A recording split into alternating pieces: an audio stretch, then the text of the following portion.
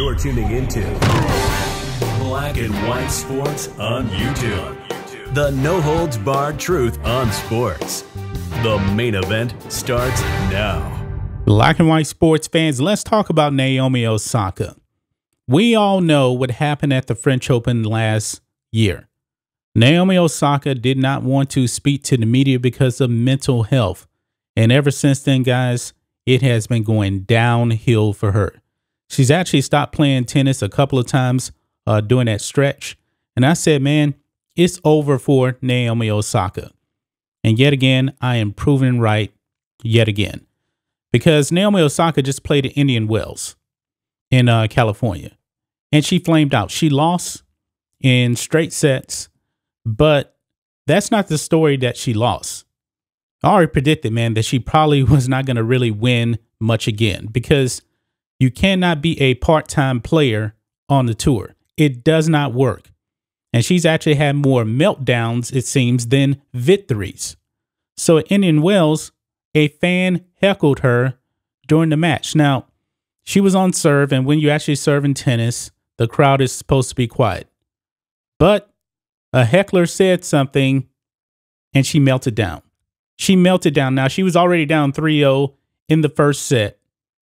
But then, when the heckler, heckler actually uh, said something, she actually wanted to go over to the umpire's microphone and address the crowd. Folks, that was not going to happen. Check this out. Naomi Osaka brought to tears by heckler at Indian Wells. Naomi Osaka's match at Indian Wells took an ugly turn when a heckler made an appearance on Saturday. Naomi, you suck.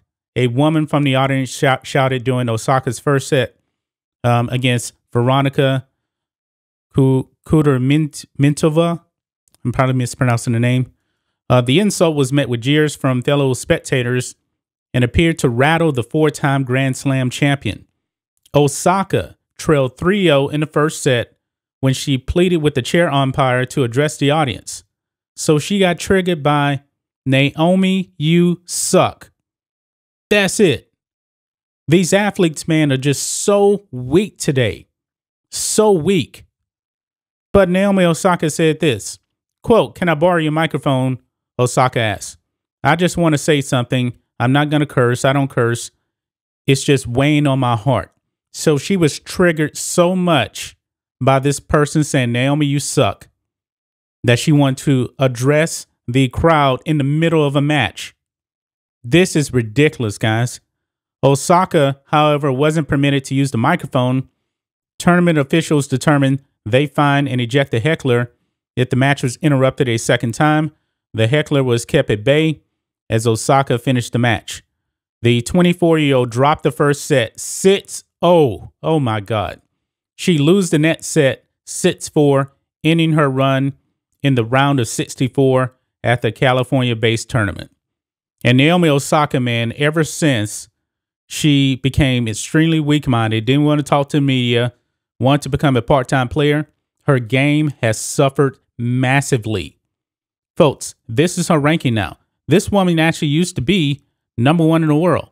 Naomi Osaka is ranked number 78 in the world. 78.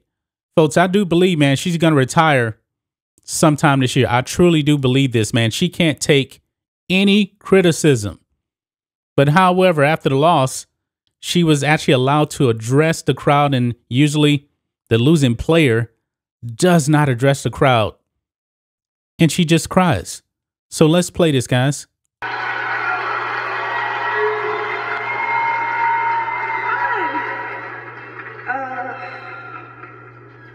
I just wanted to say thank you. Um, now, what's interesting is, guys, is that pretty much the whole crowd is supporting her. Only one person heckled her, and she got triggered.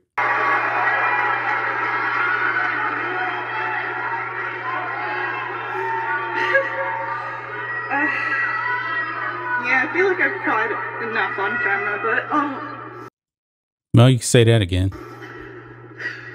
I just wanted to say, um, um,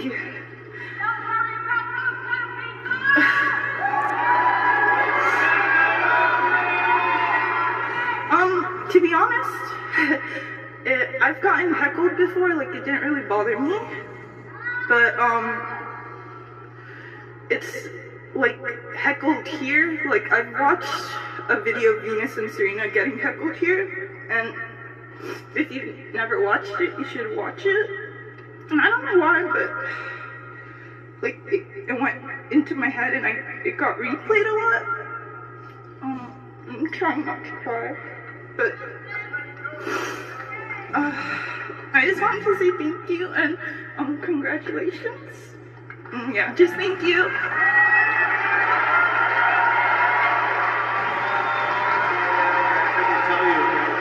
That on behalf of everybody here that uh, out of about 10,000 people, one person's voice can't weigh out 9,999 others. And we love you here. Okay. Ladies and gentlemen, Naomi Osaka. Okay, so there you see it, guys. She is walking off the court. Another loss. She is so mentally fragile, folks. I don't think she can ever recover. I don't. Now, she brought up the um, Serena Williams and Venus Williams incident. That happened 21 years ago, folks. 21 years ago. And it was much worse than what um, she dealt with here with just one heckler. Hecklers happen in all sports. Now, we've seen what happened in the NBA. You got hecklers all throughout the NBA, uh, especially this season, and it's much worse. But she brought up this incident here. Now, this was um, from last November, but the incident happened in 2001. It says Serena Williams still traumatized by Indian Wells incident. Now, here's the thing: at Indian Wells in 2001, Elena Dementieva was accusing Serena Williams' father, Richard Williams, of basically manipulating matches between Serena and Venus. Now, Serena and Venus were were actually supposed to uh, play a semifinals match against each other, and then Venus withdrew with a knee injury minutes before their match, and therefore Serena ended up going to the finals against Kim Clijsters. And when Venus and um, Richard Williams were actually entering the stadium, they were booed. The whole crowd was booing. Serena got booed. But guess what, guys? Serena, even though she was getting booed, guess what? She won the match. She was able to overcome that. Naomi Osaka, man, is just so fragile, man. I don't believe she's ever going to recover. She is so weak, man. And the media, man, is just giving her a pass at the pass at the pass. I would highly suggest that she just retire. I really do. Remember, she actually said before, you know, she was going to take time off to focus on her mental health and come to find out she was doing nothing but uh, photo shoots and stuff like that to promote her own self, her own brand. She, she doesn't really want to play anymore. She already said that she wasn't having fun, so why even continue to play? I mean, why would she even bring up this incident with Serena and uh, Venus? Now, Richard Williams said that um, that um, people were actually um, giving him racial slurs during that match, and I must say, if they did, those people should have been kicked out. That's un- unacceptable. That is inexcusable.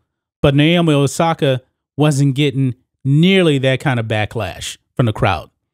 Everybody was supporting her. Just one person said, Naomi, you suck. And that was it. Wow.